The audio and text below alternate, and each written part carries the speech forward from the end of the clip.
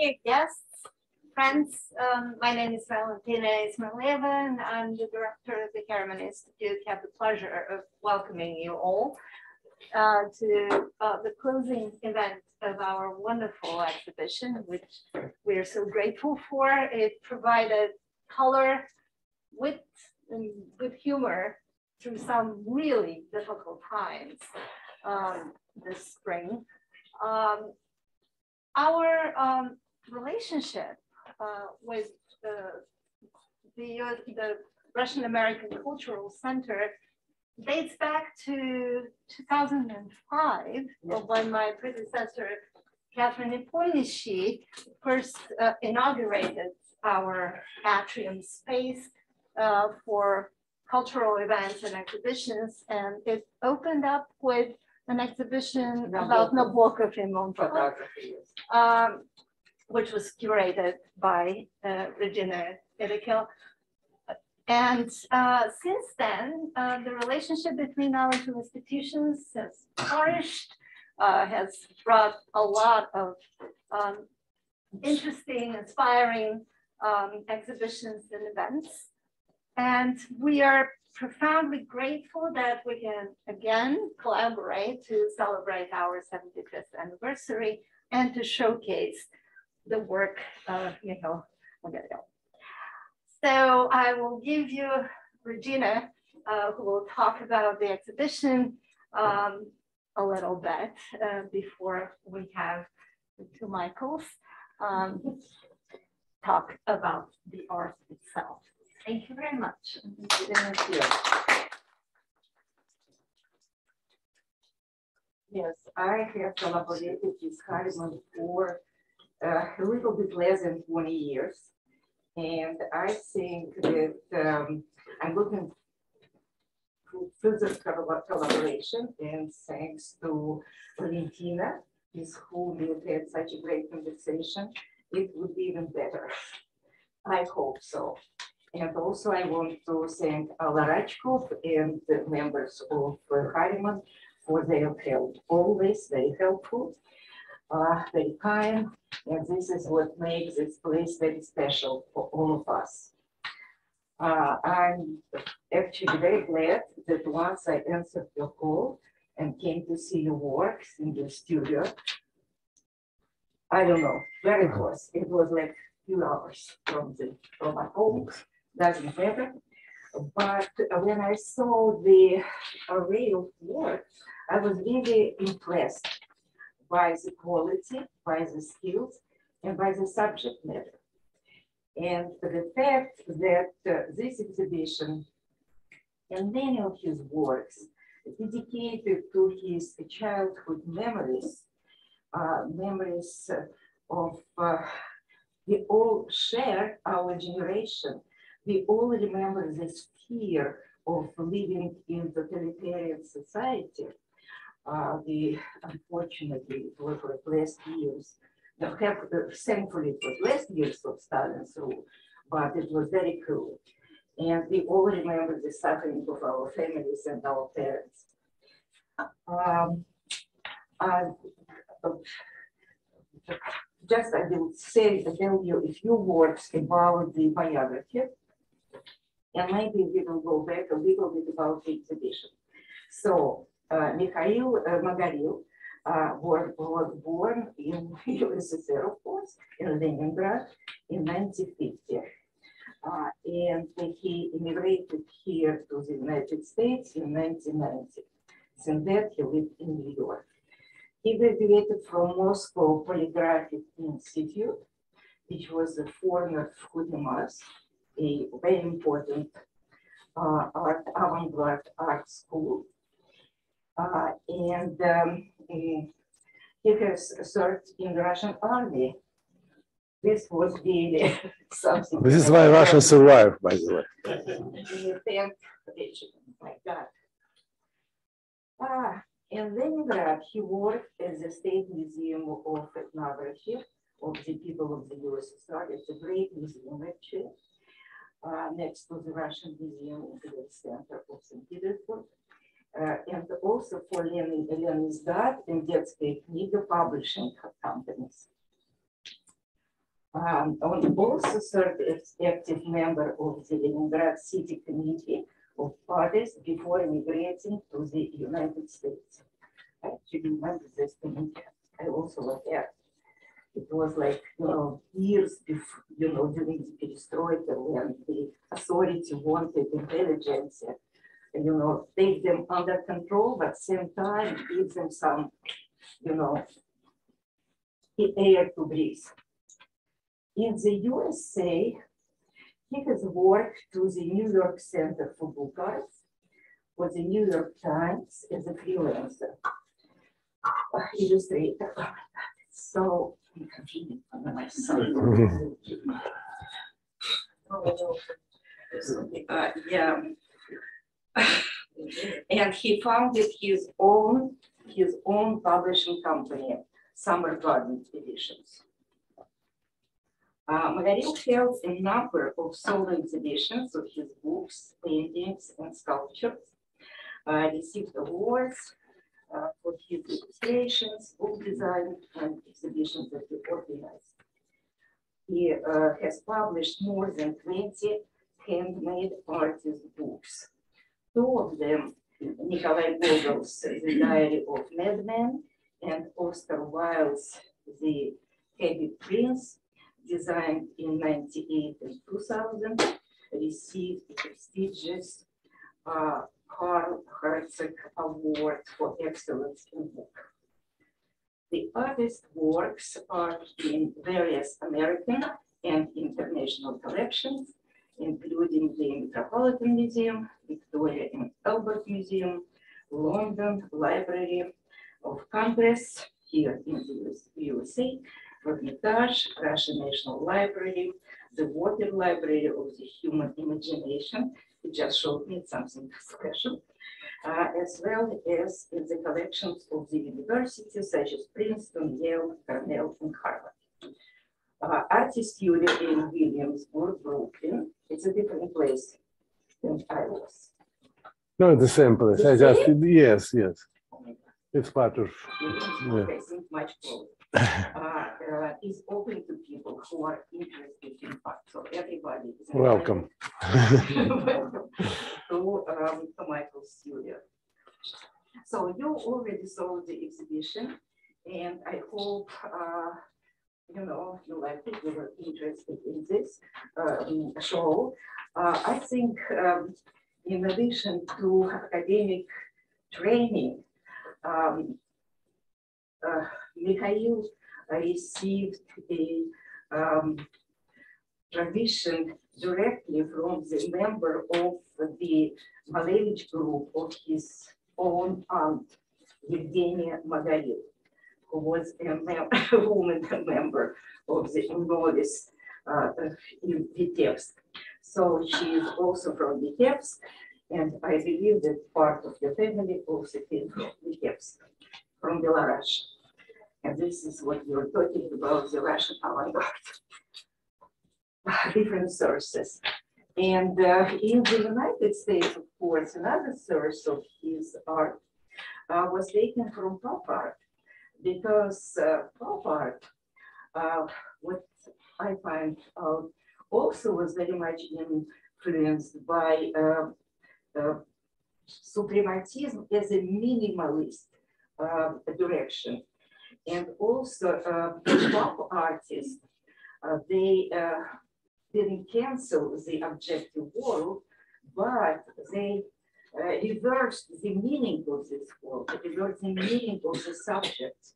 And this is exactly a principle that um, uh, Mikhail is using, reversing the meaning of subject he's talking about, he's working with.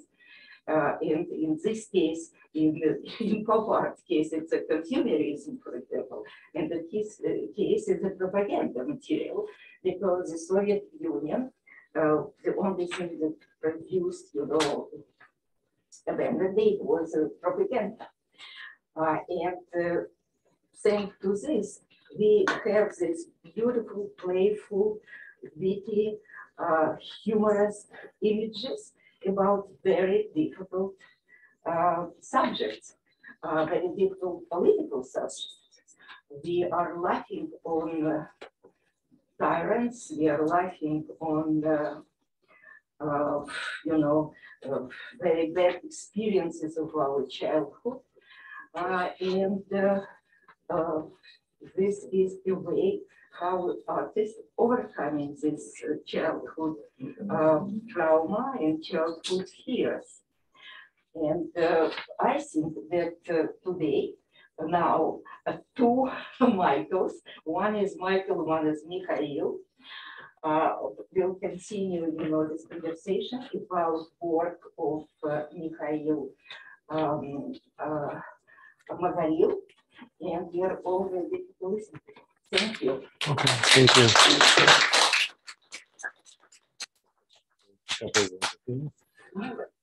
Okay, first of all, thank you for coming. And uh, I would like to introduce my friend with whom I'm working for a long time. Michael is a specialist for rare book, East and West European rare- book, also working on paper, photography, and also he's a great traveler. We traveled two times to Russia and still alive. You know, the last time it was a time when uh, Khodorkovsky was arrested. We are witness of that.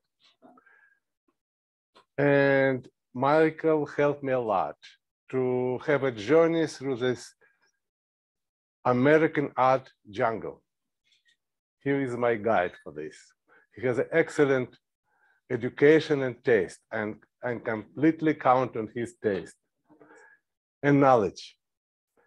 We discuss uh, each my project, and this is very important to have someone smart, good educated with whom you can share the value. And also Michael brought me to Chicago to show me this exciting, amazing, most European city in America. And introduced me to collection of Best Museum, the Art Institute of Chicago, where I got a lot of inspiration. And today, because I'm an artist, I'm not so good in, uh, you know, in the speeches, but Michael will help me and he knows a lot of details which we discuss with him. And this is your turn, Michael, please. Okay, well, that's very kind of you, and I would like to thank the foundation for inviting me.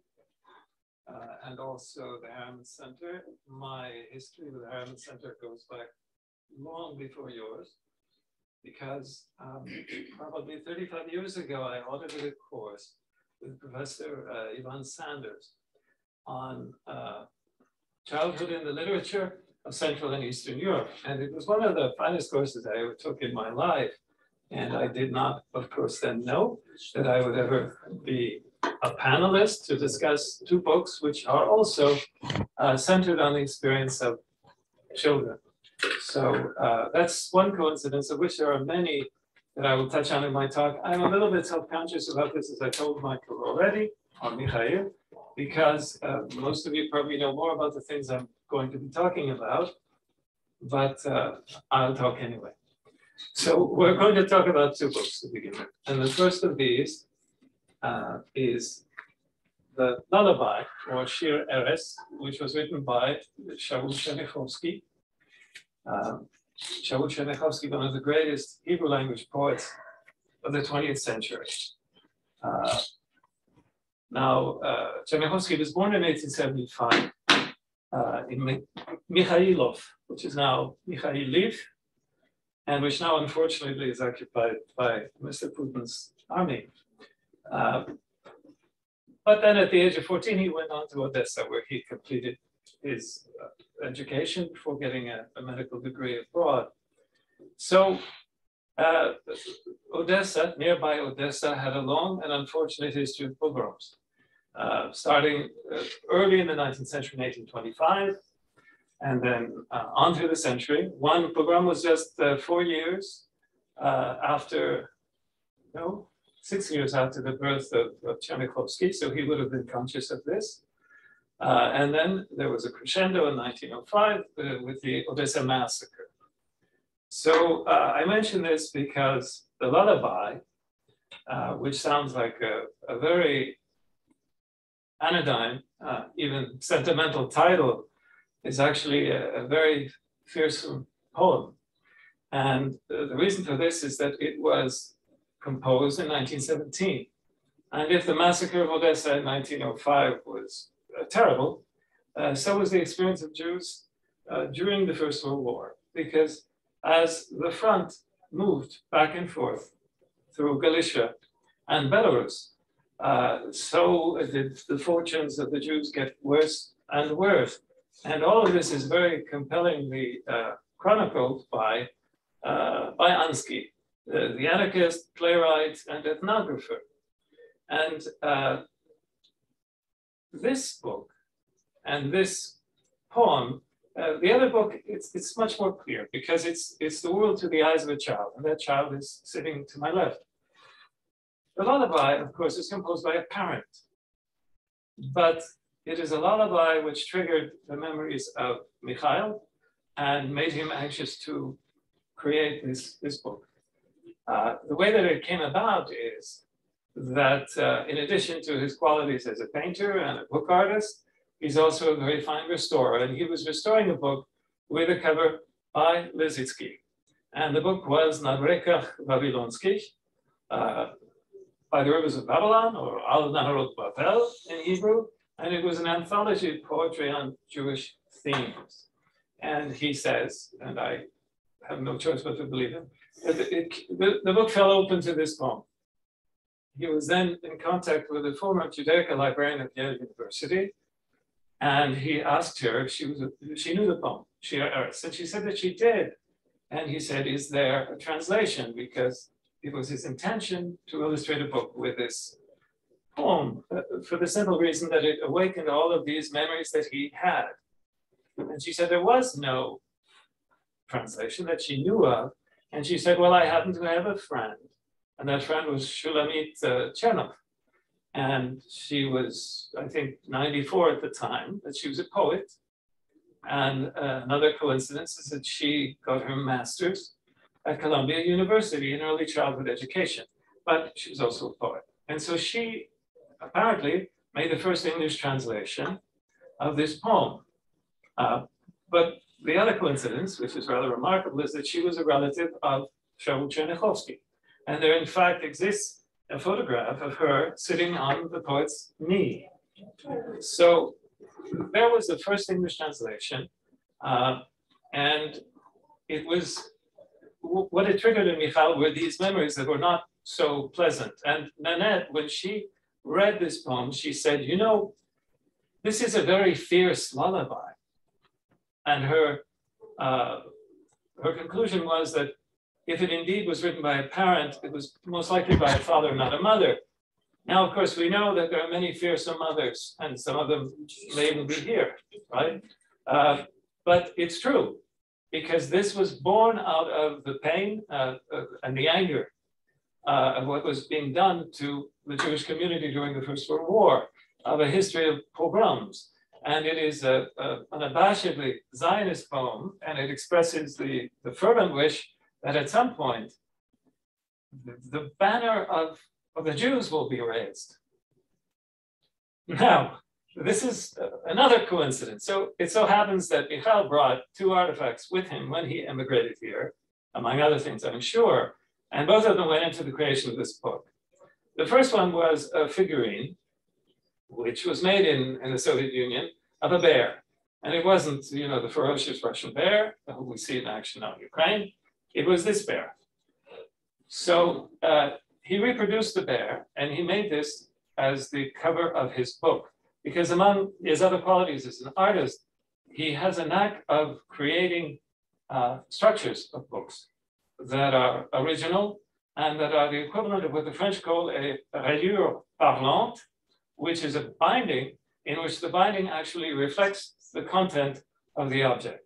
So it's a lullaby, so what better than a pillowcase? And this is the pillowcase with this artifact that he brought. And apologetically, he told me the other day that I brought this little figurine from Russia because I'm a bit sentimental, he said. So he is sentimental, but that wasn't the major uh, the major, he doesn't think I know how to handle books, but. No, no.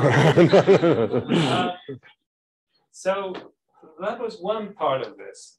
Uh, I was going to mention, but I don't have to give you a, a- a lecture in- in Russian history, that the anti-Semitism in the Imperial Russian Army during the First World War was extraordinary.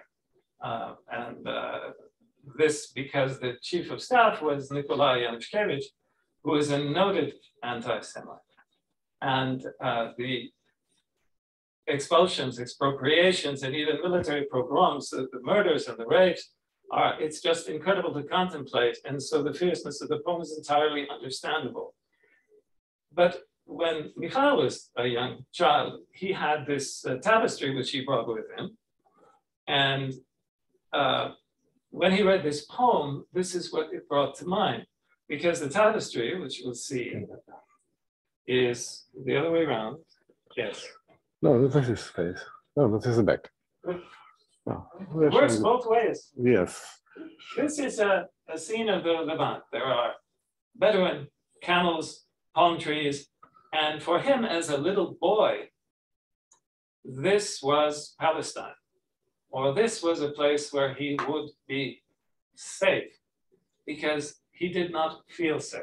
And there was every reason for that.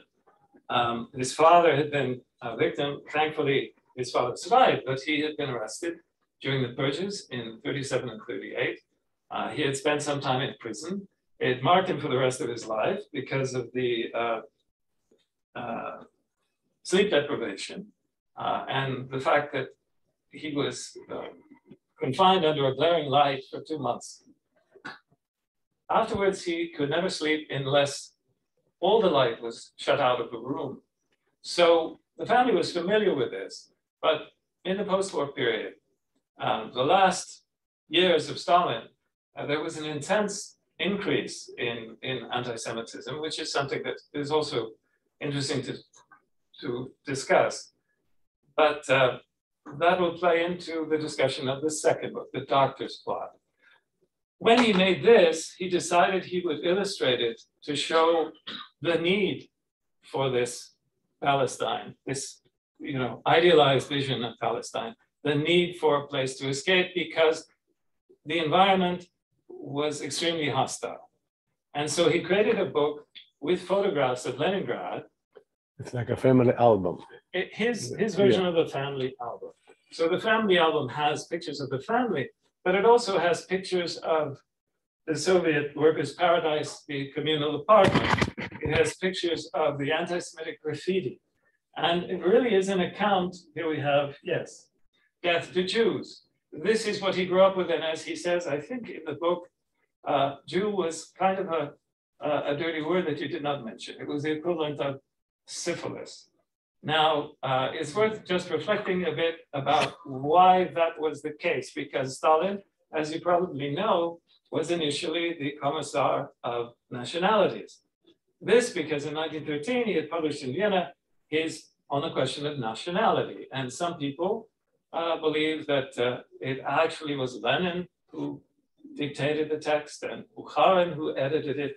But regardless, the important, uh, the important message this book was that he believed at that time in self-determination. That is to say, he believed that all the nationalities of, uh, of Russia should be able to have their own separate culture, excluding religion, of course, but their separate culture, their separate customs.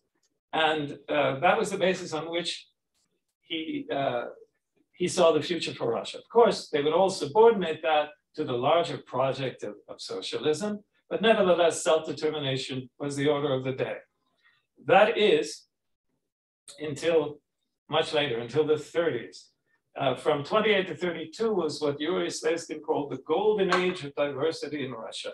And this particularly affected, for example, the production of children's books, where Soviet children were drowned in books about every nationality, how they dressed, how they looked, what they ate. And then things changed. They changed radically. Um, and uh, what happened was, with time, Stalin thought this idea of self determination is dangerous it can lead to separatism. And it was better to have uh, centralized power. And then, of course, came the great, the great Patriotic War. Now, the Great Patriotic War was what legitimized the hegemony of the Soviet Union in Central and Eastern Europe. This hegemony was only fair because, after all, it had been the Soviet Union that had defeated fascism in the name of communism. So even those countries who had not been part of the Axis alliance, of Poland, Czechoslovakia, they too suddenly were under the Soviet umbrella. Those people too lost their self-determination. And uh, that was the new status quo. But there was another element to this. And this element uh, became clear to me when I was a boy, uh, and I was 12 years old, and I was in Prague for the first time, and I went to see a permanent exhibition uh, in one of the buildings of the Jewish Museum. And even though it was the Jewish Museum, when I saw the exhibition, which consisted of drawings, drawings by children who'd been sent to Theresienstadt and who afterwards were deported and murdered in Auschwitz. And I saw these drawings, and they were beautiful. And it was a tribute to their teachers. And the word Jew did not appear anywhere. Not Jew, not Jewish, nothing. The, the words that were used in the texts were that this was an example of German or Nazi racialist politics, which, if you analyze it, is really a way of adopting uh, Nazi ideology. Because the, this is a race, yeah, that's being targeted. These are not people, these are not children, these are not Jews, this is a race. Now, this became a real problem because anything that could distract from it wasn't a myth, certainly, the Great Patriotic War. And, and no one can diminish the sacrifices of the Russian people. But still, uh, the importance of the Holocaust was something that was a diversion, that was a distraction, and that should not be exaggerated. And this led to some terrible consequences.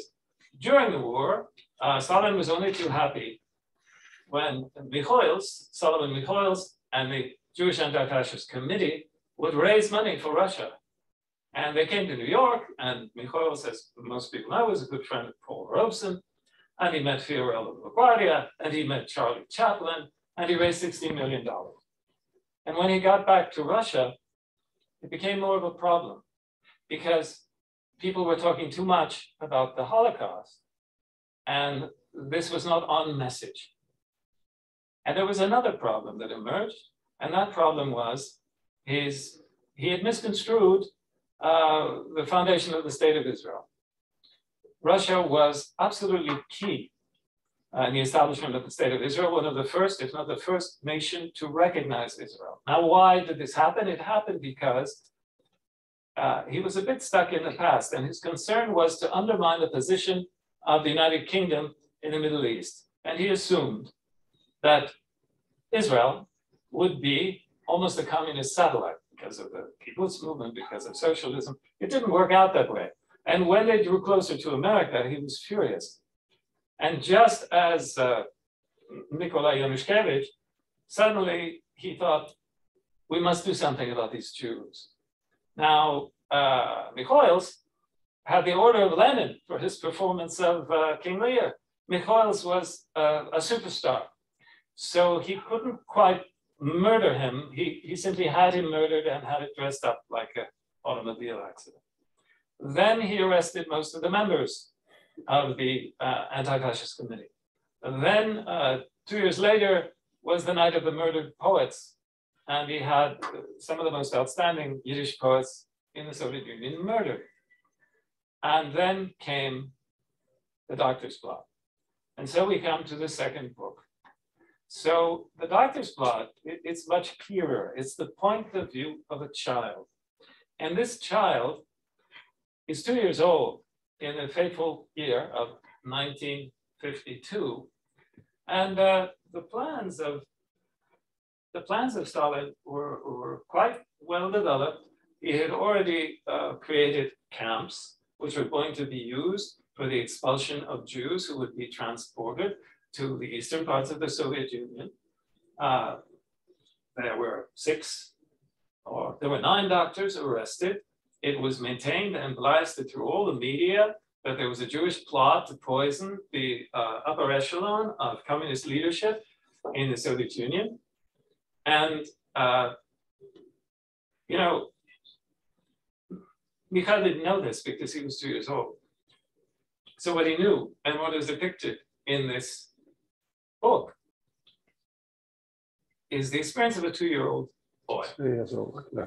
Three. Oh, sorry, I didn't. I don't want to make you feel young. so uh, uh, the story begins with shoelaces. If I wanted to, I could say that it's the shoelaces that tie the whole story together.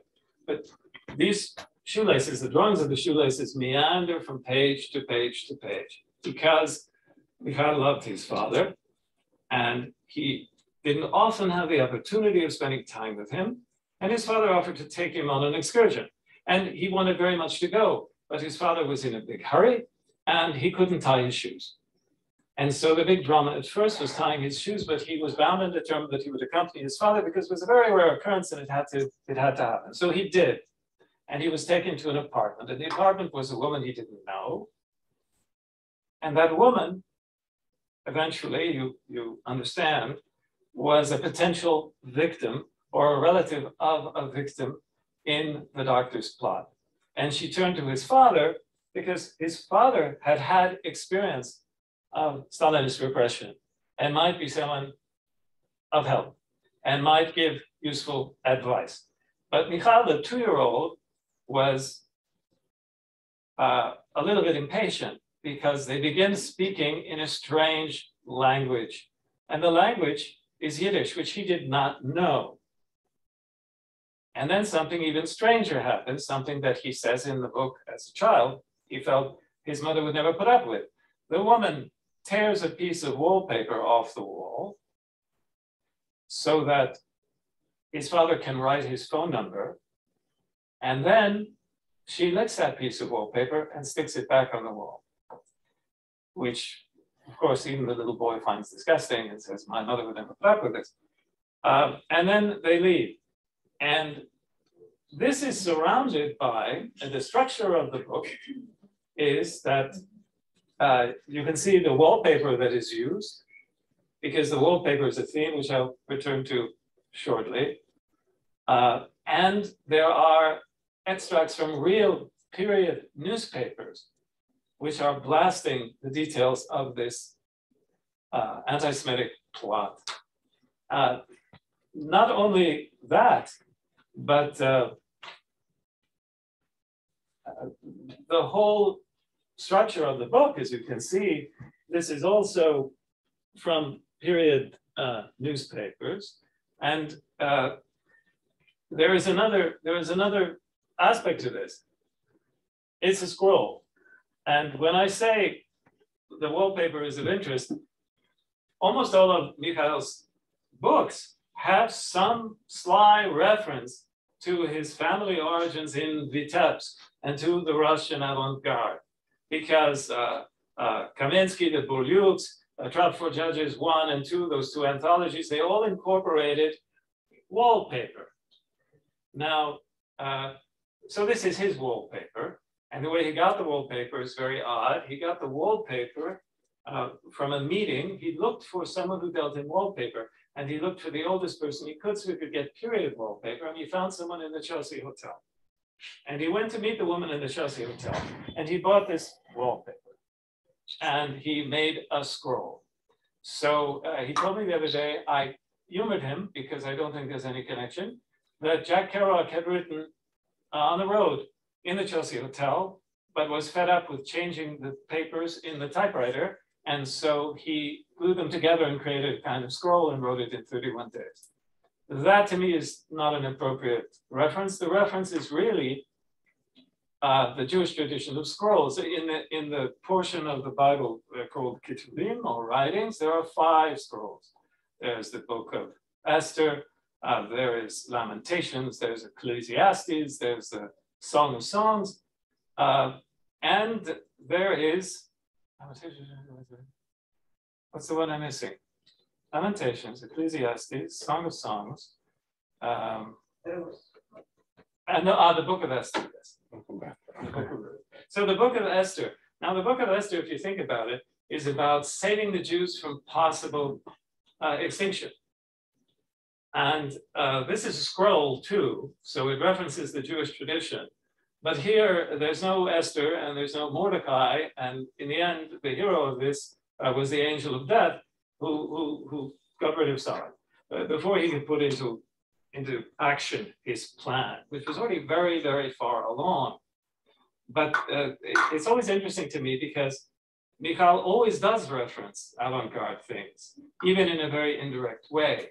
And there's another book that he did that I like particularly about Nestor Makhno, which is very timely because it takes place in Ukraine. And Makhno, of course, is a legendary anarchist. And that book, Yablochka, which is the black version of the song, the Russian folk song that was popular during the, the, the Civil War, that is created with uh, stencils, color stencils, exactly the way that Rosta Fenster uh, propaganda sheets were created. So there's always this kind of arrière-pensée in his work where he's very much delivering a message, but he's also acknowledging where he comes from. And that's very true with these, with both of these books. Uh, the larger point, which when we get to the paintings we, we can discuss, is a common experience, not only of children, not only of artists, but the general experience of people uh, under Stalin, and in fact throughout the history of the Soviet Union, uh, is this immense cognitive dissonance. Because there's this amazing rhetoric, this amazing propaganda, and is so, it is so greatly at odds with the reality. And yet people have to embrace both of these things. And as Mikhail told me, he said, yes, yes, uh, it makes people neurotic, especially artists, but it also makes them creative. And, and that is what is behind these, these uh, paintings, because the paintings embody this cognitive dissonance, because these are horrible things being shown. Young children being taught how to wear gas masks and protect themselves against chemical weapons. Uh, young pioneers learning how to fire uh, machine guns. All of these things which are, you know, there's this wonderful sunny horizon, there these beautiful colors, and yet the message there is very, very sinister and the paintings convey that he's onto this, you know. And that's why they are funny, and the words that come out very frequently, as they did today. Funny, witty, uh, uh, extremely ironic, deeply satirical, but also very beautiful. And so they managed to get that, that message across. So uh, that's all I have to say. But I'm sure Michal has something to add. Okay, first of all, I would like to show the structure of this. Okay, it goes this way.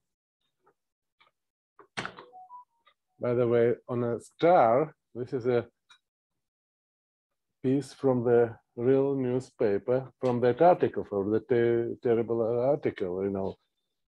Uh, spy under mask of the medical professors.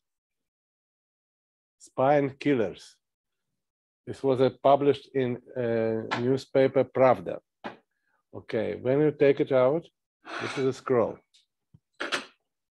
And because it's a major problem with the shoelace, this is how the real shoelace working. You un untie it, and then you will see the long, long scroll. It's it's longer than this room, actually. And I made it in a technical collage. I cutting, I don't know how to show it, you know, we can, we can stand it vertical, but uh, okay. But no, no, you can, you can, you know, this is how, this is actually a real newspaper. And you know, as a small kid, what kids usually doing? They cutting shape from the newspaper, and how this is how the story began.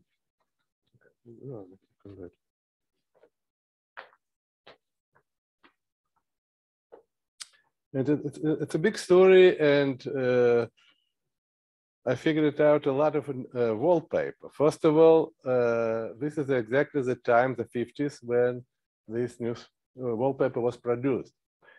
And it's a lot of different, I didn't, I, I didn't realize it. First of all, this side, the inner side, very often uh, mm, covered with a glue. This is I cannot use. And also I try to find a more or less archival newspaper, uh, wallpaper. This is what we find too. Okay, and this is how the story goes. This is the name of my publishing, and this, this is like a uh, title, the first part. And then all I decide, because a major problem was a shoelace, I decided to make all drawings using like a shape of the shoelace. And this is how it goes.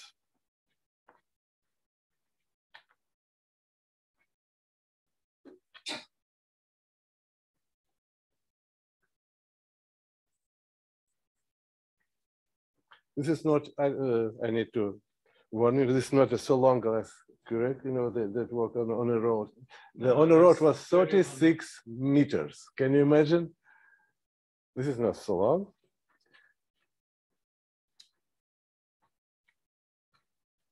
Should point out the, the font with the Hebrew style letters.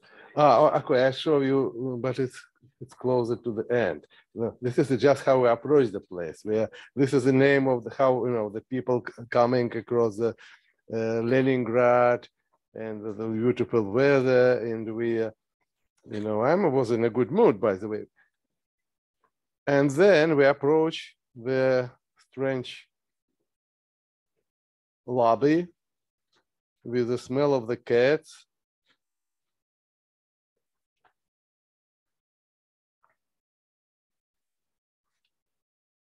Now we press the ring.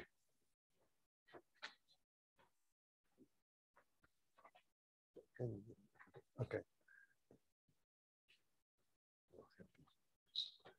Then what I surprised, it was an absolutely messy room. Everything was upside down. I never seen something like this. And then,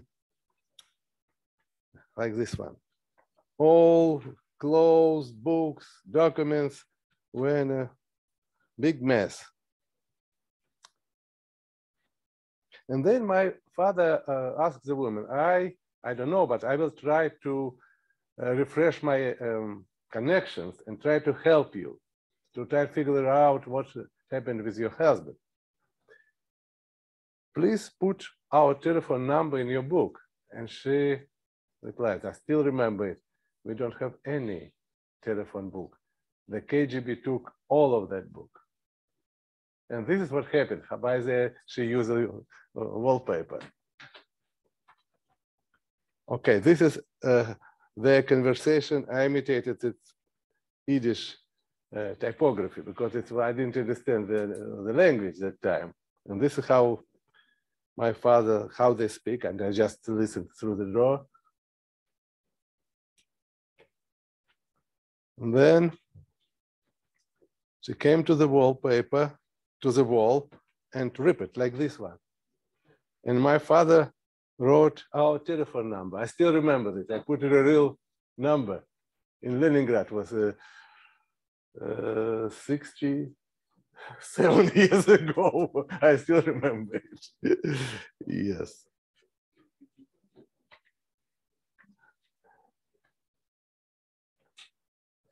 Okay. Okay, get this one. Go, go, go, go. And this is the end. Amazing. It's awful. Grown ups should not uh, behave like this because for kids it was something, you know, very strange.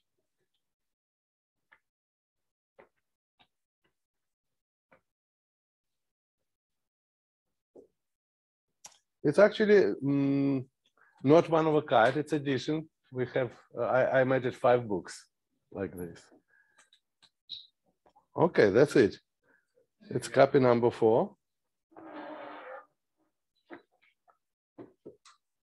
Also the structure, you should say, with the star and the box.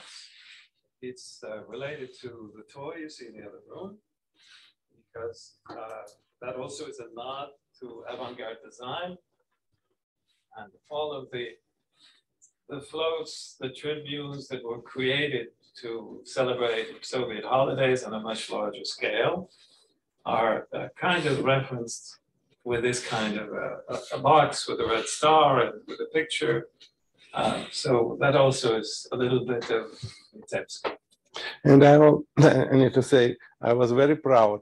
You know, in the Yale University, they celebrated 100 years of Russian Revolution. People actually mostly forget about this. but it was a very small but very good show.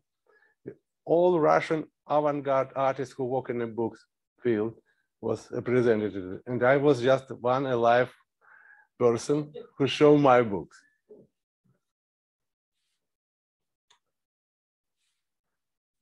Okay, this is a story about uh, doctor's plot, but oh no, the, the- you need to mention about uh, Vovsi. Oh, yes. We have I'm so someone. Sorry, yes, yes, yes. So, so Tammy Vovsi is, Vovsi is here.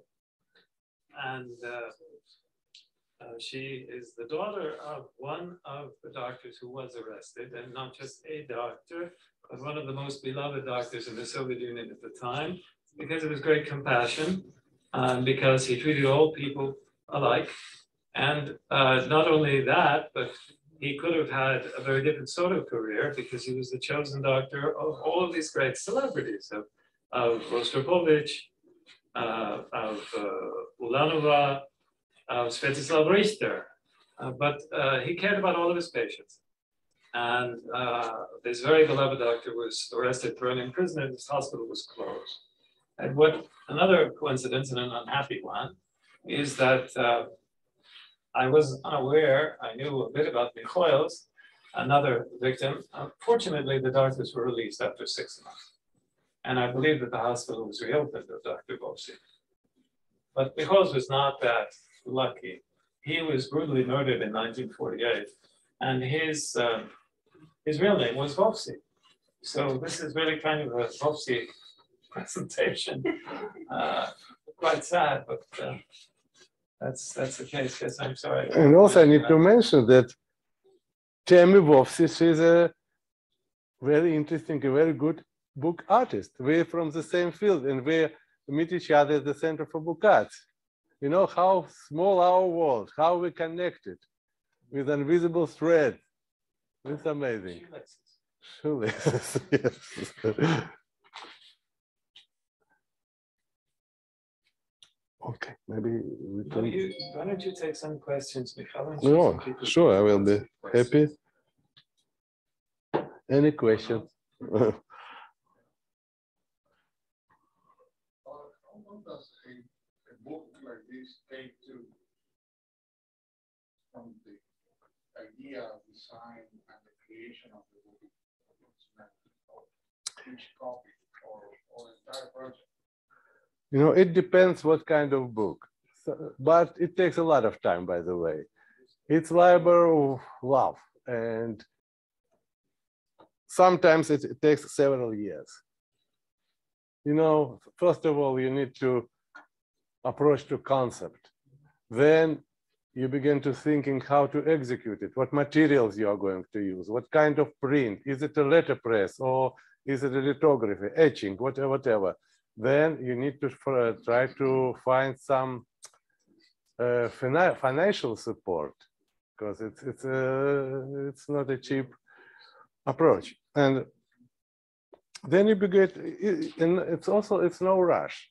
You are boss for yourself therefore nobody push you.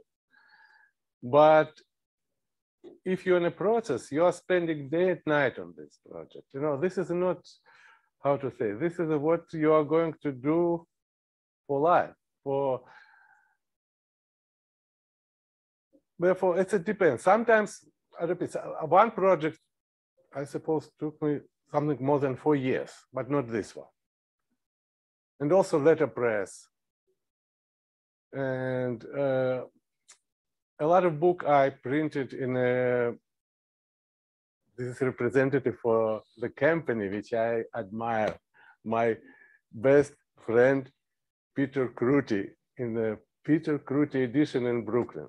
He is a, this is a family, it's absolutely, my introduce, uh, Sarah, they're working together and I'm very gratitude the, that I have opportunity to work with this family in Brooklyn and that it's a letterpress. You can imagine it's the set type like Johann Gutenberg did it, character by character. It's a relief printing.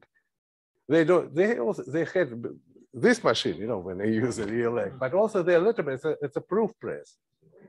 Even we're working on that place. It's like a theater. I got a lot of inspiration just coming to that place. Uh, You should mention also the sourcing of material, which is very difficult, very costly, and uh, sometimes very complicated, and also it can be very comical. So when Mikhail was working on a version of The Nightingale, the Andersen story, so uh, his concept was to do uh, a a nightingale that really would be somehow Chinese in character. And he wanted a very special paper. So Mikhail is on the phone. He speaks a very fine English, but not free of any accent. And he's trying to convince a Chinese company to send him a handful of sheets of paper. Actually, it was a Japanese Oh, one. Japanese. Yeah. You told me it was Chinese. anyway. Chinese is most cheaper, no, Japanese. Japanese. But these people who are used to immense industrial orders, so to get them to send a few, a few sheets of paper is really quite a feat. And that, that happens uh, all the time. And the other thing that he does, what is really brilliant about his business model, is that he makes so few books that he's Usually lucky it's five books. if, yeah. he's lucky if he can recover the cost of the, of the books, you know, because it's it's just uh anyway, so it's a labor of love, but you know, he's created a body of work. Uh, there, there are a large group of books in Princeton, for example. There, are- there are books in Yale, there are books in the Library of Congress, there's some, a book or two books in, in the Metropolitan. And, and this is something that will, will last, that will be here for a long time. And now the uh, Library of uh, Human Imagination. Yes. It's the Library of Human Imagination. This last weekend, I said, was purchasing uh, one of your books. Can you tell us what book that is and a little bit more about it? this is a more contemporary and harsh topic. The book calls Bukvar Nash, our ABC book. You know, during the occupation of Crimea, Russian patriots repeated the same slogan Crimea is ours, Crimea is ours. And like a satirical response of that, I made a book ABC book is ours. This is a book like hard joke on a Putin supporters.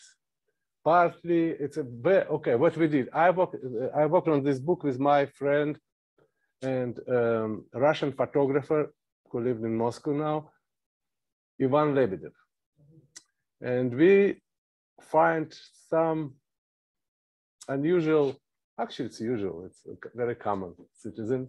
And we gave some them something like a tank uniform, something like that, and make a photo of them.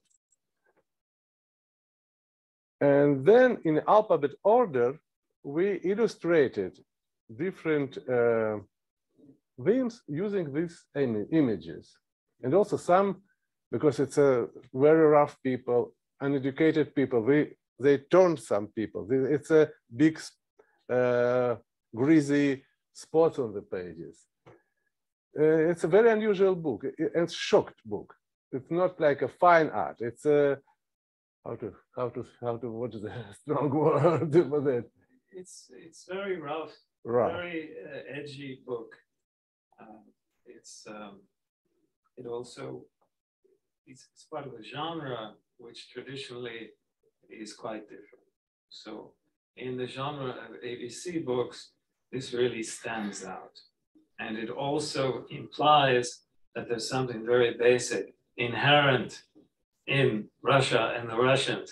You know, this, this is the alphabet. This is the stuff of which they are made. And uh, it was a book, I guess, made partially in anger or as a response to what was uh, one of the first uh, violations of the, the world Yeah. order since the Second World War, which is which gone, which went almost unnoticed, and certainly there was no response to it. Okay, this is about that book. It, it was very um, limited edition, just three books.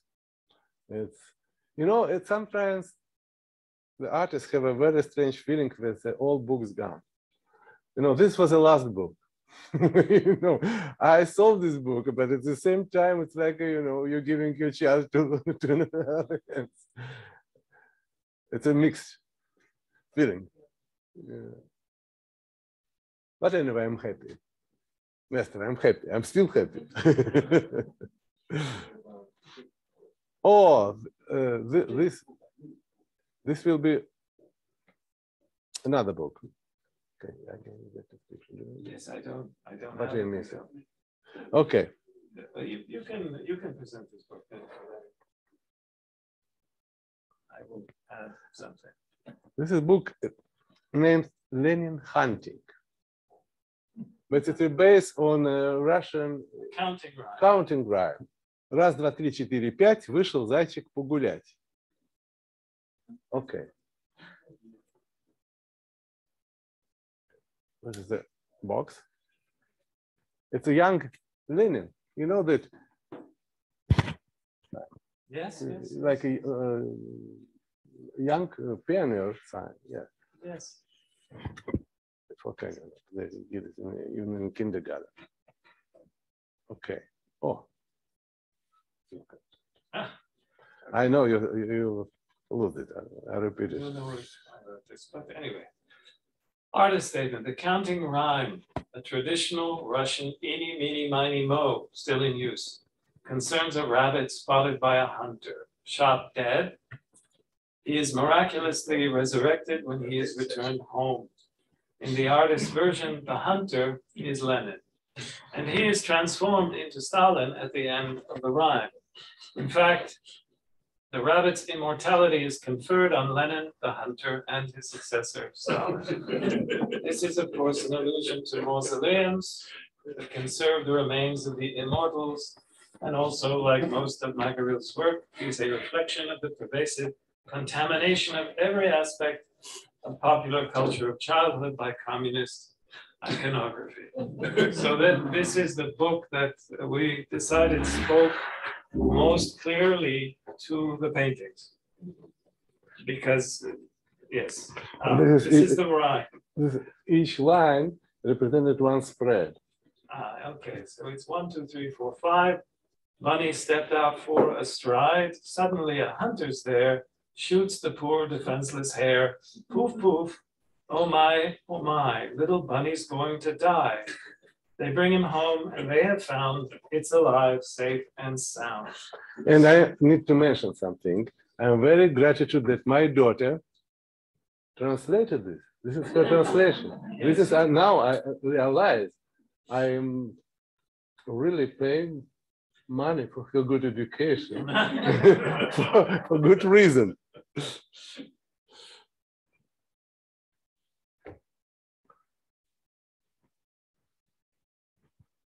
Okay, this is the book.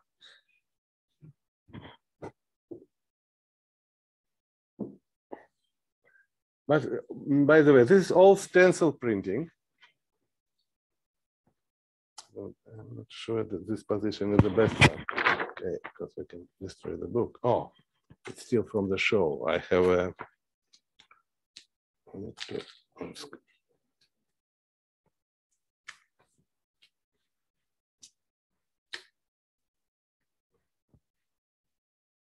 Okay, this is copy number one. It's still available, by the way.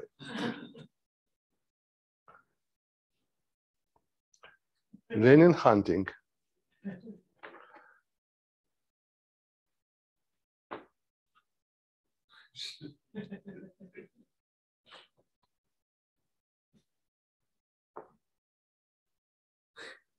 I don't know why, but it's OGPU, like a KGB. I don't know. It's,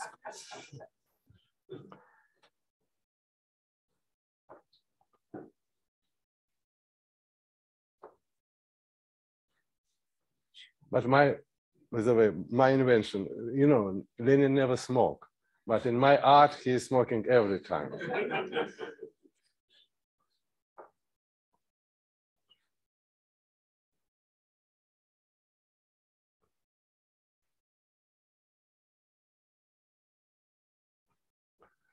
He's smoking.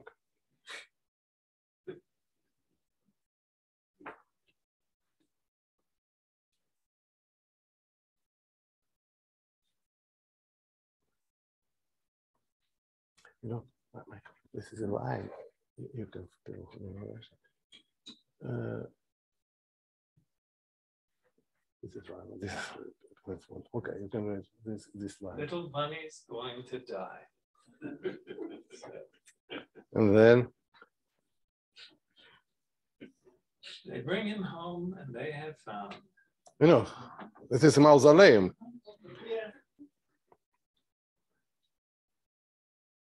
It's alive. Safe and sound.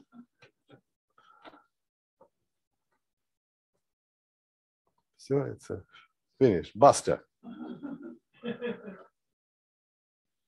And this is silhouette Lenin and Stalin. I know, they're like a two dots. And this is another end paper. Okay, that's it for this book. Okay, this is briefly what we were going to show you. Any questions?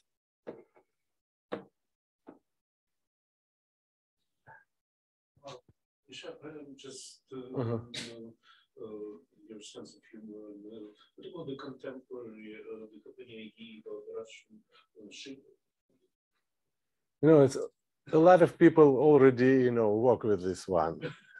Uh, yeah, and I suppose successfully from the beginning, from the action to the art. But you know, they they uh, published the stamp for two thousand dollars for one stamp. yeah.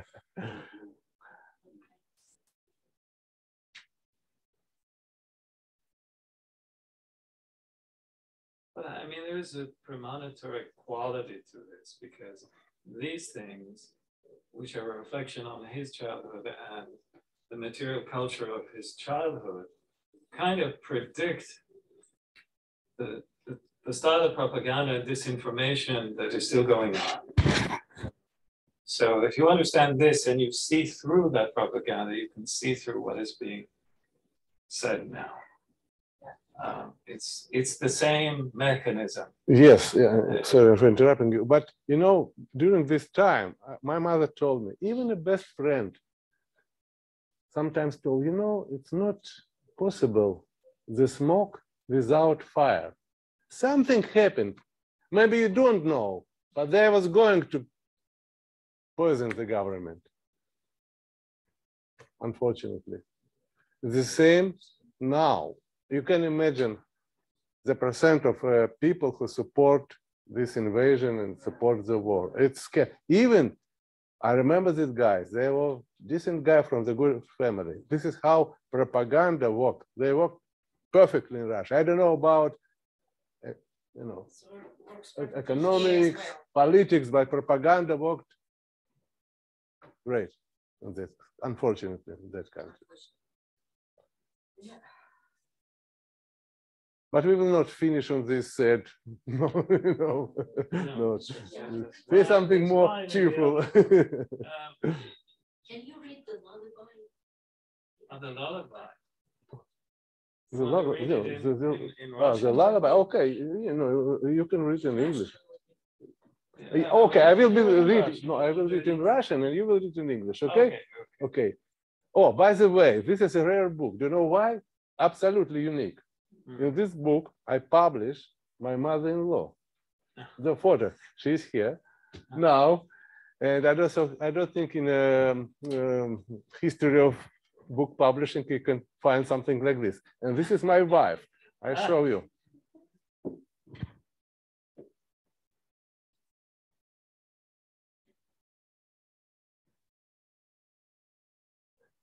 Okay. Okay, I will it's, it's not alone. Пали тени, птички смолкли, спи, дитя родное, не страшись ночного мрака, я ведь здесь с тобою. The shadows are gone, the birds are silent. Sleep, my son, my little one. Don't be afraid of the dark shadows. Am I not with you?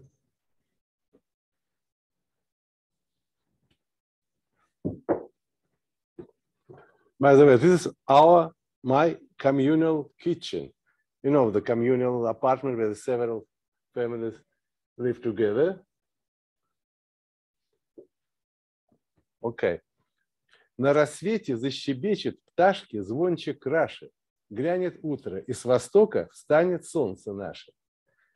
The east will light up the wings of song, will chirp and sing. Dawn will grow pale, and from the east, our sun will also rise.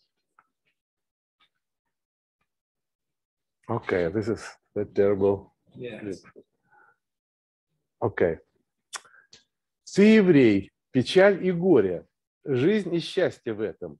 Отпрыск древнего народа, гордого пред светом. Ты ребенок, станешь старше, ясно сердцу станет, что творил он, что создаст он, в час, как солнце встанет. You are a Hebrew, my son, but this is your joy and your misfortune. You are a branch of an ancient people. Your strength is above other nations. You are still a lad. When you grow up, you will know the great deeds of your people. Then you will understand what is hidden when our sun will rise.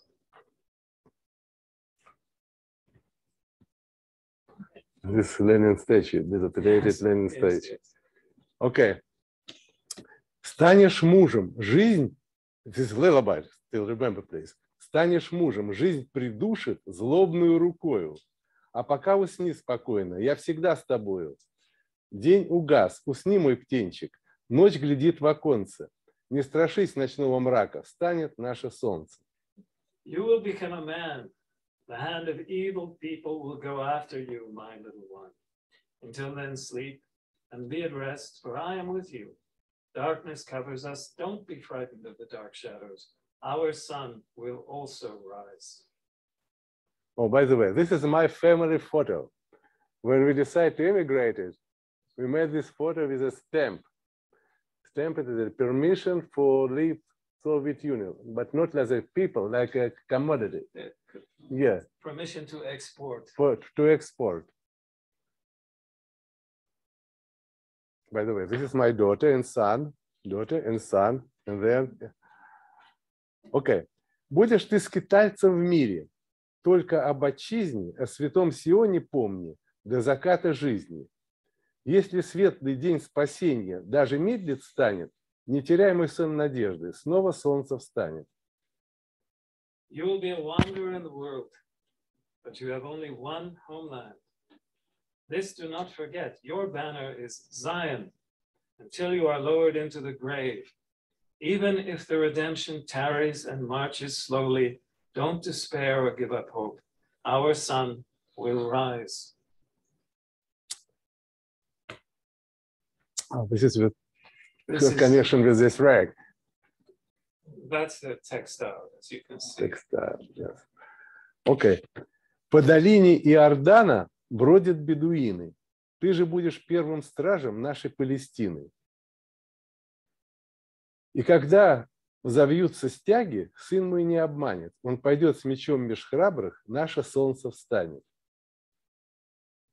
On the Jordan and in Sharon, to dwell Arabs. This land will be ours, and you will be among the builders. And when one day those that carry the banner will raise it high, don't separate yourself from them. Raise your weapon with the brave ones, for our sun will have risen. Okay, and this you can read explanation for each. I'm tired of me reading. Okay. More or less like what we said before. Okay. The artist maybe not notes.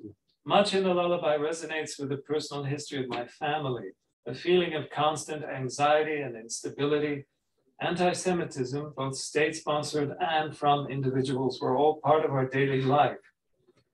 The word Jew could not be uttered out loud. It was something indecent, like syphilis.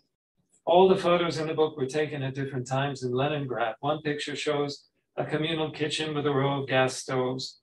Each tenant had his stove jammed into the same kitchen.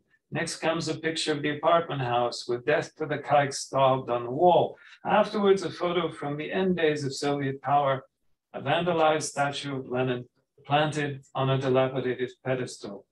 Following that, a snapshot of my family's successful application to leave for Israel permanently. The custom stamp reads, permitted for export from the USSR as if it is not people leaving the country, but things. Finally, a photo with its own special story. When I was small, a woven rug hung above my bed with images of palm trees, Bedouin, and a market crowded with people on donkeys. I was so sure that this was what our Palestine looked like, the promised land, that I brought this rug to America and hoped to pass it on to my future grandson, which led to a great problem because then there was another grandchild. So then. But I prepared two copy, then- copies. then another Yes, I did. Uh, by the way, this is end paper. It's handmade. It's it's a drawing directly on a book. I, I want to show this one. This one first, and the last one.